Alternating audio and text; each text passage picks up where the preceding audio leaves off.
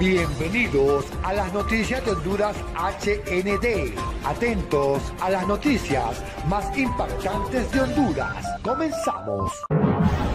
Asegurando que el actual gobierno pasó de la ley de los secretos a la ley del silencio por la opacidad de información pública en algunas instituciones del Estado. Se pronunció la directora del Consejo Nacional Anticorrupción, Gabriela Castellanos han cambiado la ley de los secretos o la ley del silencio. Castellanos y el CNA presentaron un informe con 14 instituciones gubernamentales con mejores calificaciones y otras calificadas como aplazadas en una nueva herramienta denominada como el Índice de Transparencia Activa Gubernamental, que mide la rendición de cuentas a través del acceso de información pública. En este gobierno no hay corrupción. Rechazamos los resultados del índice de transparencia presentado por el CNA. El CNA es aliado de la narcodictadura. Hay grupos fácticos e intereses oscuros detrás del índice de transparencia del CNA. Nos adelantamos a lo que dirán. El Consejo Nacional Anticorrupción presenta el día de hoy el Índice de Transparencia Activa Gubernamental y TAG. Y no lo hacemos porque somos aliados de JO o porque hay intereses oscuros detrás de esta instancia conformada por diferentes sectores de la sociedad civil. Lo hacemos porque nuestro trabajo es acompañar a las instituciones del Estado en la promoción de transparencia, rendición de cuentas, auditoría social, participación ciudadana, democracia, gobernabilidad, entre otras áreas de intervención. Asimismo, se refirió a que desde los medios de comunicación denuncian que desde la institucionalidad se les niega el derecho fundamental de acceso a la información. Hemos vivido en carne propia y también como testigos las denuncias públicas que varios sectores tienen. Lo hacemos porque sin transparencia y acceso a la información pública, lo único que nos queda es una débil institucionalidad lo hacemos porque, contrario a lo que algunos funcionarios alegan, jamás nos prestaremos para cubrir la corrupción, restringir la información pública y boicotear las iniciativas de transparencia, ni de este ni de ningún otro gobierno. A lo largo de esta gestión, Hemos vivido en carne propia y también como testigos de las denuncias públicas que varios sectores tienen, entre ellos los medios de comunicación, que exponen cómo desde la institucionalidad se les niega el derecho fundamental de acceso a la información la profesional del derecho, hizo el llamado a la población para exigir la rendición de cuentas a través de datos concretos de la ejecución de los fondos públicos.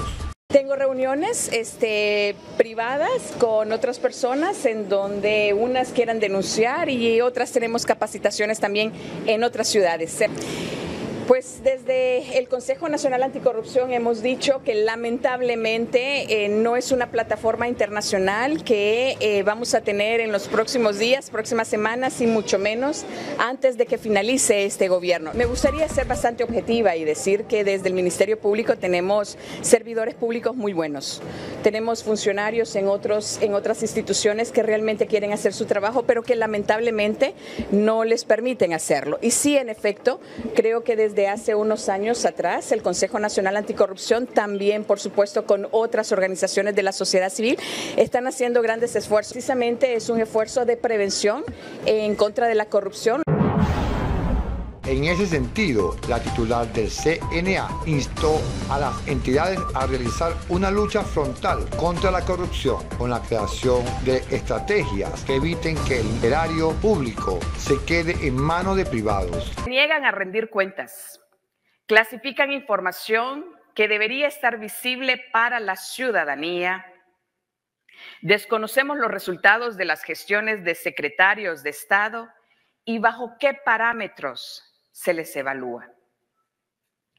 Y quien se atreve a preguntar solo recibe ataques y descalificaciones, como si el acceso a la información no fuera derecho de la población o si la rendición de cuentas no se consideraría o se considera un deber de los funcionarios. Decir que somos transparentes no nos hace más transparentes. Es por eso que el ITAG del CNA reflejará la verdad, empleando una metodología científica para conocer la apertura y la interacción de las instituciones en la divulgación de la información, determinar el avance estancamiento o retroceso y la efectividad en el manejo de los recursos públicos. Como dijo Cliff Homby, los datos son el nuevo petróleo.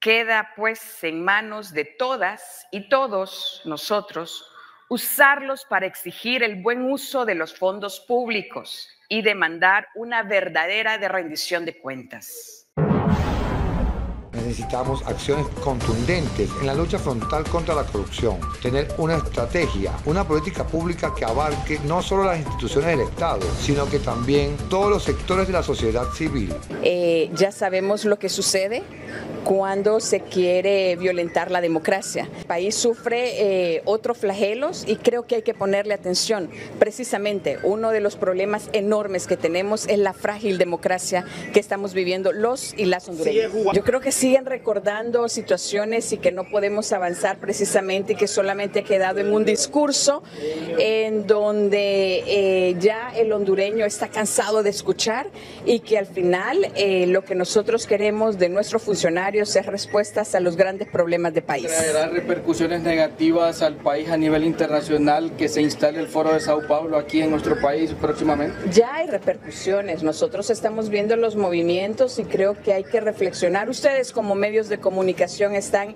en la obligación, así como nosotros desde CNA, el decir qué es lo que está pasando y hacia dónde se quiere llevar el país. Creo que hay que ponerle atención. Sabemos la poca democracia, sabemos el problema que tenemos del Estado de Derecho y creo que en función a eso nosotros debemos de contribuir. Suscríbete a las noticias de Honduras HND, déjanos tu like, déjanos tus comentarios y no te pierdas las noticias más importantes de Honduras. Nos vemos en un próximo reporte.